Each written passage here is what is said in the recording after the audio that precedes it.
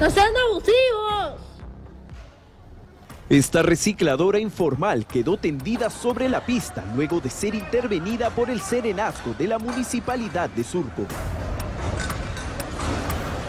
Sentí que me pateaba, no sé, y hasta mis brazos me han agarrado, me han sostenido con fuerza.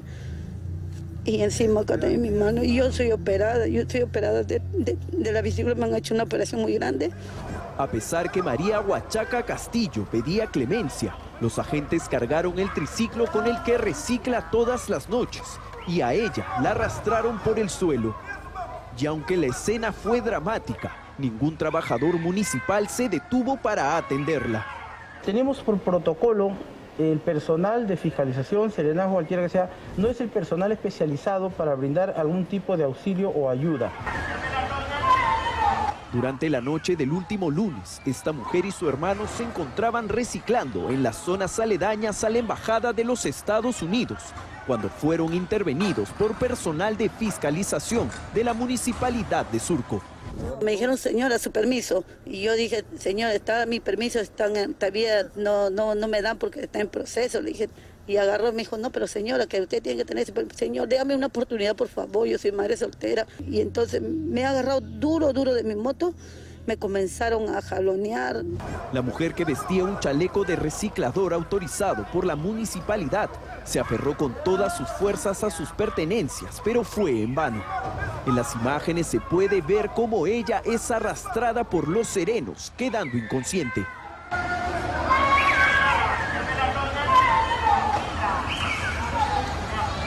es que el personal femenino trata de que la señora no continúe con esto, donde ella procede pues a lo que se ha visto en el video, eh, se, prácticamente se tira, ¿no? Porque no es la primera vez, es un modus operandi que siempre realizan cuando se encuentran en informalidad. Una trigueña la agarraron a ella del, eh, cuello, el otro la agarraron ahí y comenzaron a jalonear a mi hermana. Una que ella estaba ahí, el otro lo comenzó a pisarle sus piernas.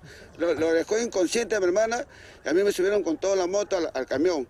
El, personal que estaba dentro del camión eh, me, me comenzaron a tratar con palabras vulgar. Luego de la intervención, María es abandonada a su suerte. ¡No sean abusivos! Dios mío.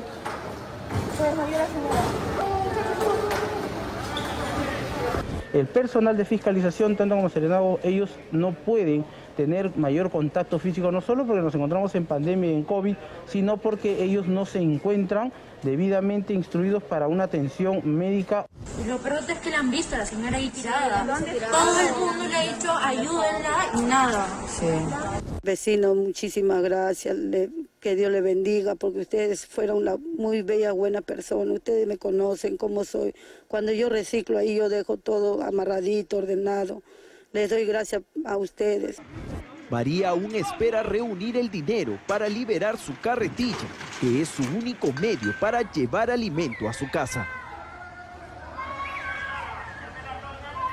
Antes de sancionar de esa manera y brutal, ¿no? Lo que la municipalidad debería hacer es formalizar cuanto antes a todos los recicladores, porque más que daño en realidad lo que está haciendo es un bien, está buscando generar un ingreso a partir de la basura, ¿no? Y eso es una tarea en la que debería estar comprometida la misma municipalidad.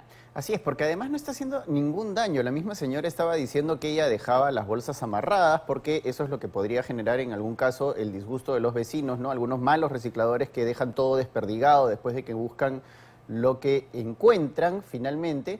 Pero hay protocolos y nuevamente vamos al tema de los protocolos. No pueden intervenir de una manera tan desproporcionada frente a una situación que no lo amerita. Así es, vamos a